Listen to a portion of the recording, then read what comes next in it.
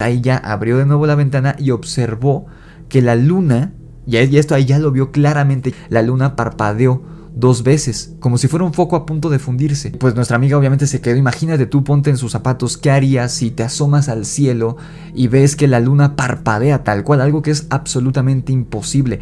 En ese momento, los perros de su barrio, los perros del edificio donde vivía, estaban aullando y se sentía intrigada por, por cómo estaba eh, viéndose la luna en ese momento, con esta neblina roja. Ya no había parpadeado, pero la luna, la, neblina ahí seguía esta niebla roja. Eh, se hizo una bola, como si fuera una bola de nieve, pero conformada por gatos. Un espanto en forma de viejita la noche anterior tocó la puerta en una casa cercana a la suya. Y en esta casa era donde habían visto la bola de gatos. Esta viejita la describió que era horrible, que era espantosa, o sea, no era una señora normal, una viejita, era, una, era algo con forma de viejita, algo que no era humano, que estaba como disfrazada.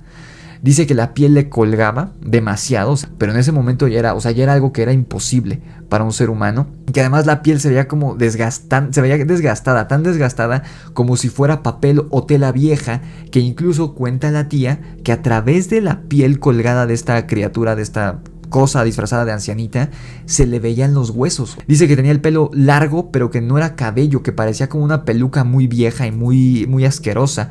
Y que la cara de la, del ser era lo más espantoso, no lo quiso describir. Y que cerca de, de donde este señor había colocado su, su hamaca, había una cueva, una cueva bastante grande.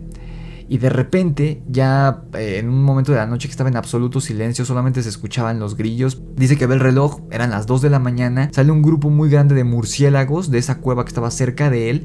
Pero lo curioso fue que cuando volteó a ver el espectáculo, entre los murciélagos había una silueta, una criatura humana o humanoide que volaba junto con los murciélagos, pero pero, y aquí está lo curioso, esta figura humanoide tenía dos alas enormes, también como las de los murciélagos. Dice eh, que en una noche ella estaba dormida, con la puerta de su habitación abierta, se despertó e instintivamente se puso de pie en la cama, se agarró de los barandales de la cama y dice que como la puerta estaba abierta, ella veía directamente hacia la sala de su casa.